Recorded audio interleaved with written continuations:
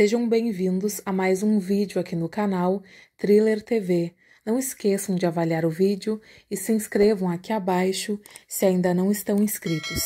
Casal é encontrado morto dentro de carro que ficou submerso ao cair em córrego em Mato Grosso do Sul.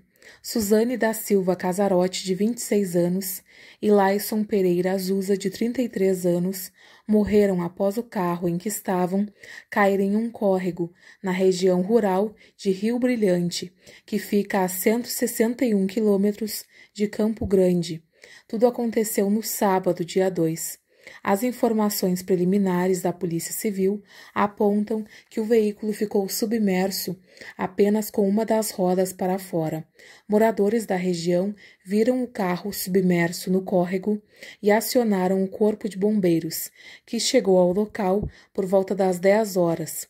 Ao fazer a primeira observação, os militares encontraram apenas Lyson, após içar o carro com a ajuda de um guindaste que o corpo de Suzane foi encontrado. Além dos bombeiros, perícia e as polícias militar e civil estiveram no local do acidente.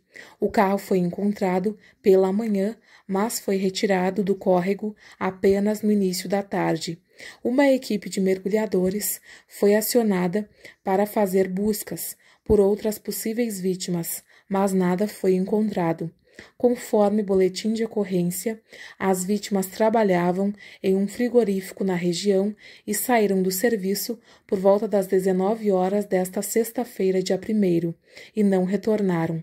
Suzane e Lainson tiveram os corpos reconhecidos por um colega de trabalho.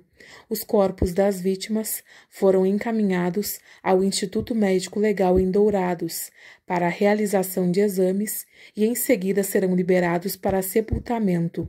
A Polícia Civil aguarda o laudo da perícia técnica para precisar a causa da morte do casal e apontar as linhas de investigação do acidente. Finalizando mais um vídeo por aqui, não esqueçam de avaliar o conteúdo, compartilhem se puderem e deixem aqui abaixo também um comentário com a sua opinião.